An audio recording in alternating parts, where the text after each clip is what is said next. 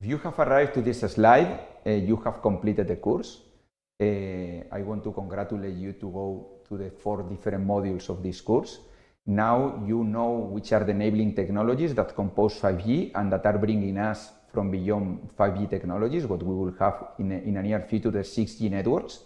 Now you know how to uh, create innovation with these technologies, and you have seen how different success stories uh, have been uh, deployed or used by different entities in order to create innovation and uh, possibilities of new business models. So thank you for doing the course and uh, congratulations for finishing it.